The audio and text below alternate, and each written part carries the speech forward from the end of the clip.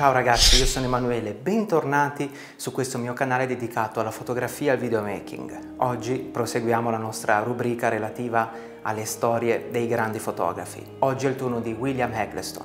Prima di partire, se non siete ancora iscritti al canale, vi invito a iscrivervi e ad attivare la campanella per ricevere una notifica ogni qualvolta pubblico un nuovo video. E se volete sostenere il canale vi invito a visitare la mia pagina su tp.com. Trovate il link in descrizione. William Eggleston nasce a Memphis il 27 luglio 1939 e sarà tra i primi fotografi a legittimare l'uso del colore nella fotografia d'arte e infatti è considerato uno dei padri della fotografia artistica a colori. Durante i suoi studi universitari nel 1958 acquista la sua prima Leica e inizia ad appassionarsi alla fotografia. I libri di Walker Evans, Henry Cartier-Bresson e Robert Frank sono dei veri e propri modelli dai quali attingere. Padre della fotografia artistica a colori, tuttavia le sue prime opere sono in bianco e nero, ma ben presto abbandona il monocromatico per sperimentare con il colore, fino a quel momento considerata una caratteristica appannaggio del lavoro commerciale. Eggleston si serve del dye transfer,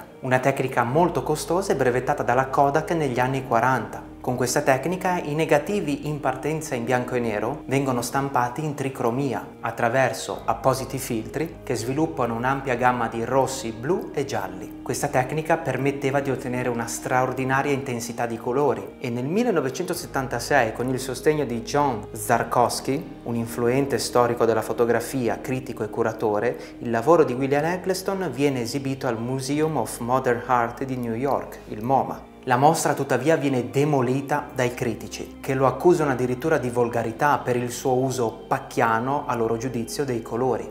Lo stesso New York Times definisce la mostra come la peggiore di quell'anno. Ansel Adams scrive addirittura una lettera di protesta al MoMA di New York. L'attenzione di Eggleston per il banale è abiurata dalla maggior parte dei fotografi fedeli invece al momento decisivo. Decenni più tardi, per fortuna, la reputazione della mostra è stata ampiamente rivista. Oggi infatti è considerata come una svolta nella storia della fotografia. Lo sguardo di Eggleston è neutrale, crea infatti la sua arte partendo da soggetti banali, un triciclo, un frigorifero.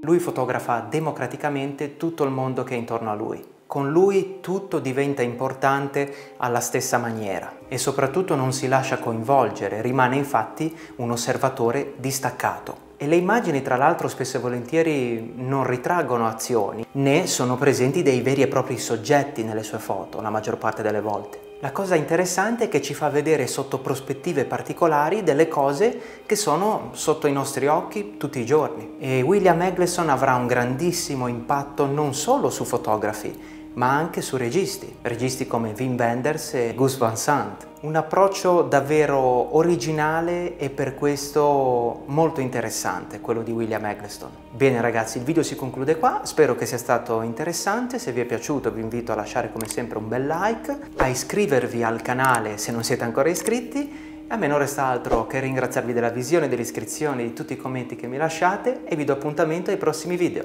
Ciao a tutti!